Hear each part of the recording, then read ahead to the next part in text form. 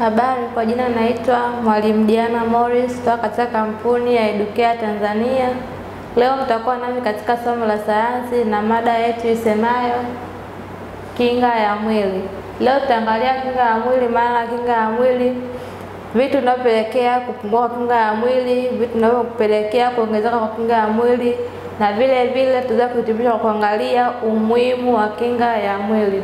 Kwa kuanza na maana ya kinga ya mwili, nasema kuwa kinga ni uwezo wa mwili kuweza kupambana na vimelea vya magonjwa au kinga ni uwezo wa mwili kuweza kujilinda dhidi ya maambukizi. Tunapokuwa tunasema kinga, kinga ya mwili ni uwezo wa mwili kuweza kupambana na vimelea vyote vya magonjwa vinavyokuwa vinanyemelea mwili ili kuweza kusababisha mwili kutokuwa sawa. Pia tunasema kuwa maambukizi husababishwa na viini vya magonjwa ambavyo hushambulia mwili wa binadamu. Maambukizi ya magonjwa husababishwa na viini vya magonjwa ambavyo vinapelekea kushambulia mwili wa binadamu. Viini ambavyo husababisha magonjwa ni pamoja na virusi, bakteria, vunu na vimelea. Hivi ni magonjwa au vitu vinavyosababisha kutokea kwa magonjwa. Kama tulivyoona, kuna virusi, bakteria, kuvu na vimelea. Kingine, mwili wa binadamu huwa na seli nyeupe ya damu ambayo hupambana dhidi ya vimelea vyote vya magonjwa. Katika miili ya binadamu pia kuna seli nyeupe ya damu ambayo binadamu huzaliwa nayo, na seli nyeupe ya damu kazi yake kuu katika mwili wa binadamu ni kuweza kupambana dhidi ya vimelea vyote vya magonjwa. Pia tuangalie aina za kinga ya mwili. Mwili wa binadamu, kinga ya mwili pia ugawanyika katika sehemu kuu mbili, ambao kuna kinga asilia na kinga isiyo asilia. Wengine huweza kusema kinga mbadala, wengine huita kinga ya kisasa. Kwa kwanza na kinga asilia. Kinga asilia ni aina ya kinga ya mwili ambayo mtu huzaliwa nayo na ndiyo mstari wa mbele katika kupambana na vimelea vya magonjwa. Tunaona kwamba kinga ya mwili kumbe ni ile kinga ambayo binadamu huzaliwa nayo kutoka kwa mama, na pia ndio mstari wa kwanza katika kupambana na vimelea vyote vya magonjwa vinavyoweza kushambulia mwili wa binadamu. Mfano wa kinga ya mwili, mfano seli nyeupe za damu. Seli nyeupe za damu binadamu huzaliwa nazo katika mwili wake, ambao humsaidia kuweza kupambana na vimelea vyote vya magonjwa ambayo hunyemelea mwili wa binadamu. Kitu kingine ni ngozi. Ngozi pia husaidia mwili wa binadamu kuweza kujikinga na vimelea mbalimbali vya magonjwa. Nyingine kamasi na nta za sikio.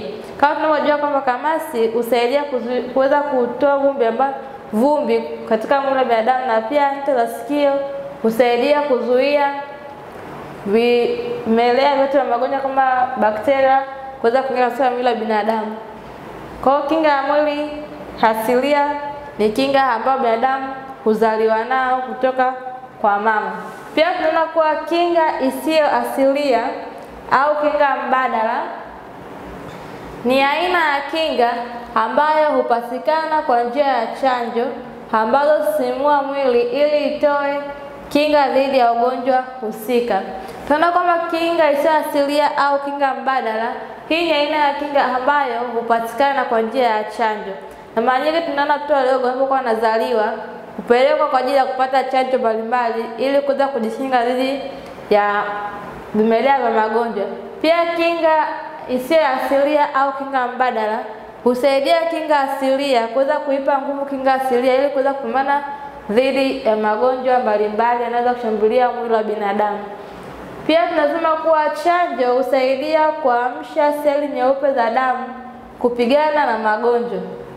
Pindi seli nyeupe za damu zilizokuwa zimezidiwa na magonjwa, tunapokuwa tunapatiwa chanjo katika miili ya binadamu, inasaidia kwenda kuiamsha ile seli nyeupe ya damu ili kuweza kuendelea na kazi yake kuweza kupambana na vimelea vyote magonjwa, na seli nyeupe ya damu husimama kama askari anayelinda mwili wa binadamu dhidi ya vimelea vyote vya magonjwa vinaweza kusababisha mwili wa binadamu kutokuwa sawa kimwili na hata kiakili.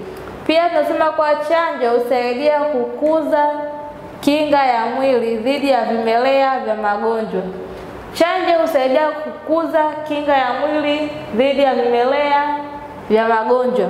Tunapokuwa tunaongeza chanjo katika miili yetu, chanjo inatusaidia kuweza ku, kuweza kukuza kinga ya mwili. Kama tunavyoona kwa kinga asilia ni kinga ambayo mtu huzaliwa nayo, na tunapokuwa tunapatiwa chanjo au kinga mbadala kwa njia ya chanjo, inatusaidia kuweza kuimarisha kinga ya mwili yetu na kuweza kuwa imara zaidi ku, na tayari kuweza kupambana na vimelea vyovyote vya magonjwa vinazoweza kushambulia mwili wa binadamu. Mfano wa magonjwa yanayotolewa chanjo ni kama vile pepopunda, polio, kifua kikuu na homa ya manjano. Hii ni mifano ya magonjwa ambayo huweza kutolewa chanjo katika vituo mbalimbali vya afya hapa nchini. Pia baada ya hapo, tunataka kuangalia mambo yanayosababisha kupungua kwa kinga ya mwili. Ni vitu gani vinavyosababisha kinga ya mwili kuweza kupungua katika mwili wa binadamu na kuweza kuruhusu mwili kuweza kushambuliwa na magonjwa? Moja, tunaweza kuona kuwa ni magonjwa. Magonjwa huweza kupelekea kinga ya mwili kuweza kushuka. Mwili ambao unashambuliwa na magonjwa mara kwa mara hupelekea kinga ya mwili kuweza kudhoofika na kushindwa kupambana na magonjwa mengine yanaweza kushambulia mwili na kupelekea mwili kudhoofika. Pia ya pili, matumizi ya madawa ya kulevya. Tunapokuwa tunatumia madawa ya kulevya katika miili yetu, pia hupelekea kushusha au kupungua kwa kinga ya mwili wa binadamu, na hapo mwili utashindwa kuweza kupambana na vimelea vya magonjwa katika mwili wa binadamu. Pia kitu kingine ni uzee. Uzee, mtu anapofikia hatua ya uzee, maana tunajua kwamba binadamu anazaliwa kutoka hatua ya utoto, ujana, utu uzima mpaka uzee. Anapofikia hatua ya uzee, kinga ya mwili hushuka, na hii hupelekea kuweza kuruhusu mwili kuweza kushambuliwa na magonjwa kirahisi, kwa kuwa kinga ya mwili inakuwa imeshuka, sio kama mwanzo toka alipokuwa mtoto au katika hatua ya ujana na utu uzima. Kwa hiyo mwili unakuwa rahisi zaidi kuweza kushambuliwa na vimelea mbalimbali vya magonjwa. Kingine, kutolala kwa kiasi chake. Pia mwili wa binadamu unapokuwa unashindwa kupata usingizi au kulala kupumzisha mwili wako kwa kiasi chake, hupelekea kupungua kwa kinga ya mwili. Ndio maana binadamu kawaida tunashauriwa kuweza kuwa na masaa nane ya kuweza kulala na kuweza kupumzisha miili yetu. Kwa hiyo tunapokuwa tunakosa usingizi wa kutosha au kutolala kwa kiasi chake, tunapelekea kushuka kwa kinga ya mwili. Kitu kingine ni msongo wa mawazo. Msongo wa mawazo pia ni moja ya jambo linaloweza kupelekea kupungua kwa kinga ya mwili. Kwa nini? Mtu anapokuwa na msongo wa mawazo huwa katika hatari ya kuweza kupata magonjwa, mfano pressure au magonjwa ya moyo kutokana na mawazo, na hiyo hupelekea kushuka kwa kinga ya mwili na kuruhusu magonjwa kuweza kushambulia mwili wa binadamu. Kingine, mlo usio kamili au tunasema utapia mlo. Mtu anapokuwa asipopata mlo kamili, na tunajua kwa mlo, ili mlo uweze kuwa kamili, inahitaji aina mbalimbali ya vyakula kama vile wanga, protini, vitamini, mafuta, madini na maji pia, ambayo husaidia husaidia mwili wa binadamu kuweza kuimarika na kujengeka vizuri. Kwa hivyo unapokuwa unakosa aina hiyo vya vyakula, hupelekea kinga ya mwili kuweza kupungua. Kingine, uvutaji wa sigara pamoja na ulevi uliokithiri. Tunapojua kwamba uvutaji wa sigara, tunaambiwa kwa sigara sio sigara, uvutaji sigara huathiri mili ya binadamu, hasa sehemu za mapafu, na pia ulevi uliokithiri pia huweza kusababisha kupungua kwa kinga ya mwili na kupelekea mwili kuweza kuruhusu au kushindwa kupambana na vimelea vya magonjwa na kuruhusu mwili kushambuliwa na aina tofauti tofauti za magonjwa.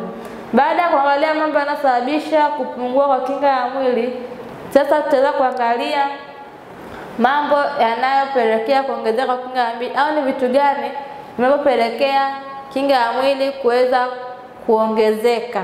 Endelea na kipindi chetu, na hapa tutaangalia mambo yanayosababisha kuongezeka kwa kinga ya mwili. Baada ya kuangalia mambo yanayosababisha kupungua kwa kinga mwilini, sasa tunaangalia mambo yanaweza kupelekea kuongezeka kwa kinga ya mwili. Moja ni kula mlo kamili.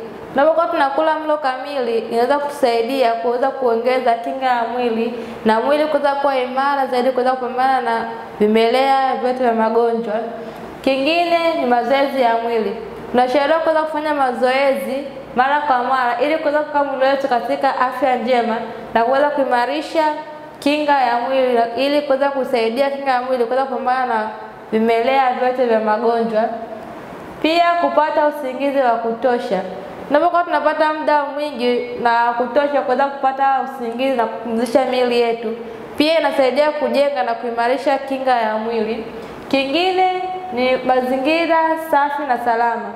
Tunapokuwa tunaishi katika mazingira safi na salama, inatusaidia kuweza ku, kuwa na afya au kuweza kuimarisha kinga ya mwili, kwa sababu tutakuwa tunakula vyakula vilivyo safi na salama, tunakunywa maji safi na salama.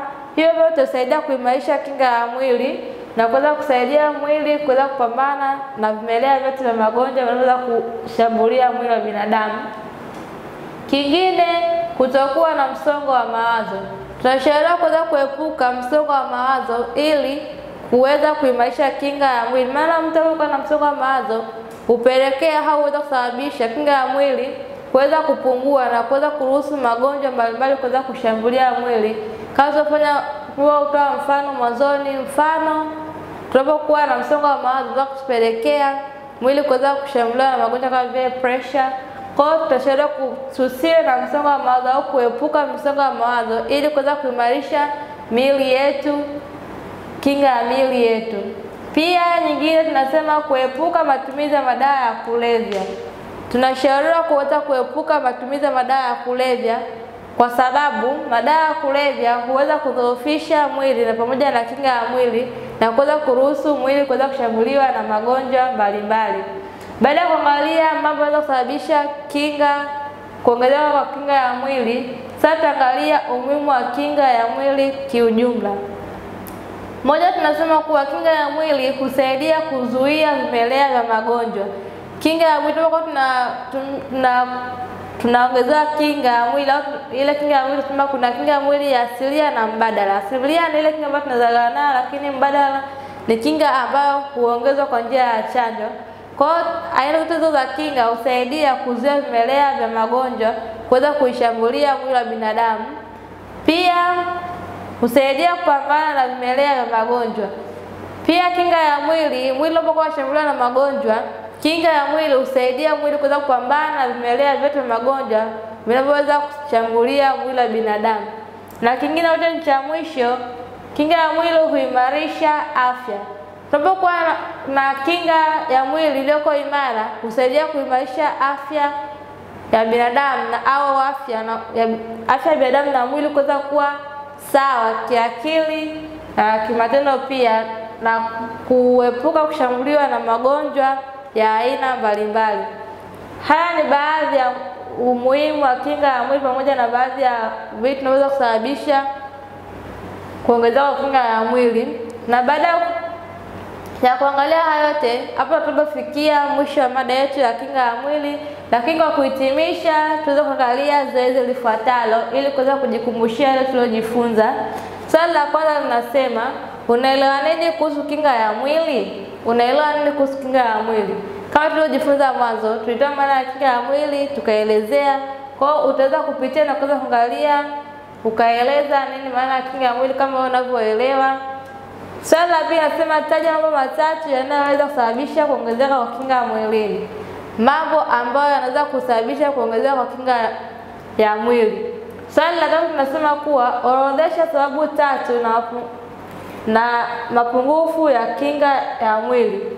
Kuorodhesha sababu matatu ambayo yanaweza kupelekea kupungua kwa kinga ya mwili katika mwili wa binadamu. Na swali letu la nne ambalo la mwisho tunalohitimisha nalo linasema kuwa eleza kwa kifupi namna kinga zifuatazo zinavyopatikana. Hatua ya kwanza ni kinga asilia na ya pili kinga mbadala. Ni kwa namna gani au jinsi gani kinga asilia inayopatikana na pia kinga mbadala inayopatikana. Utaweza kutokana na kile ulichokielewa kutoka katika mada yetu ya siku ya leo. Na hapa tunapofikia hitimisho ya mada yetu kwa siku ya leo.